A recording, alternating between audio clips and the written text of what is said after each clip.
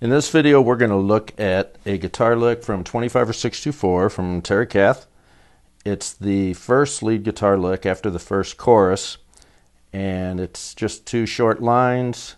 There's not a lot to it except for the ending is the interesting part, and we want to look at that part because that's the technique that's found throughout a lot of the song, the main solo, and at the very end. So if you can recognize that, that gets you most of the solo, I think. So um, uh, first, I'll just play through it here with a little rhythm for context.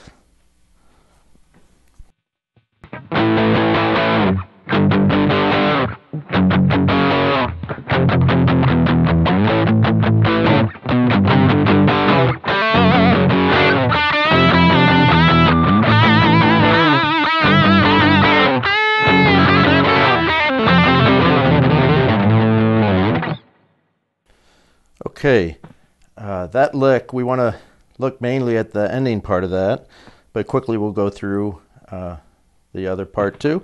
Um, just basically on the A pentatonic scale here, um, and the key here is to come in on the end of three so your timing works out because you're going to come in on the offbeats on a syncopated rhythm. So it's like one and two and three and four and. So you're coming in on the and of three and then hitting on all the ands. One, two, and three.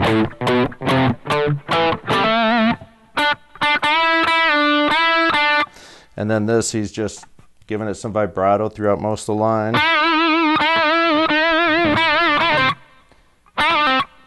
And then, uh, and then the interesting part. And you may have noticed we're, we're just on that pentatonic scale there. We're going to put in that blues note when we get down to this string. Um, but the, the interesting part is the technique. Um, so let's go through it here. We're starting off bending that G while we're up to an A, and we release it slowly. The next part, you're going to do a hammer on and a pull off and bend this D up like that. Okay, so you got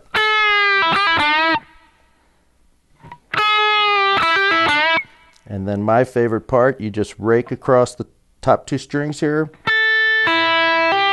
and do a hammer on and pull off.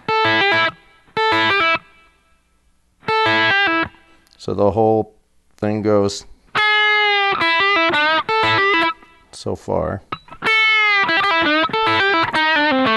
And then you're just going to roll down the blues scale there. Okay. And from there, we just go around. Just around the pentatonic scale. Hammer on and pull offs everywhere. Um, he does that and just slides around a lot. So, like when you get down here, you're just going to slide down to the C. Like that. So, the whole thing goes.